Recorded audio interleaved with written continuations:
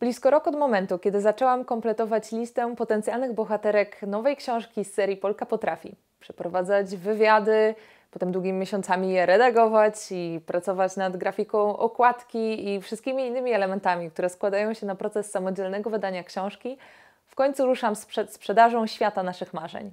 Poznasz w nim 13 historii 14 zwykłych kobiet, które robią niezwykłe rzeczy w różnych zakątkach kraju i nie tylko.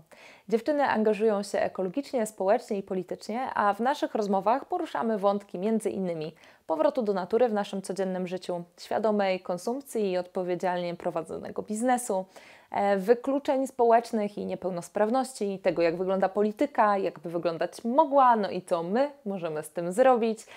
Poznajemy historię światozmieniaczy i światozmieniaczek z całego świata, rozmawiamy o rolnictwie ekologicznym, no i zastanawiamy się nad tym, w jaki sposób naszą kreatywność i nasze talenty wykorzystywać w służbie wizji świata, którą w sobie nosimy.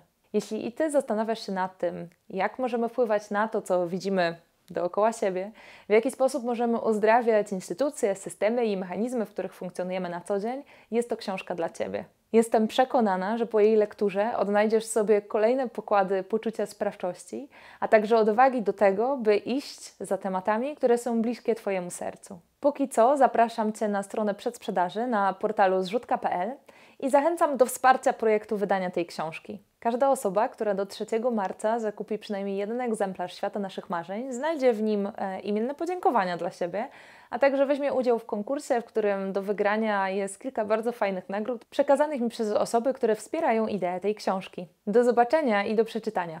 Pa, pa.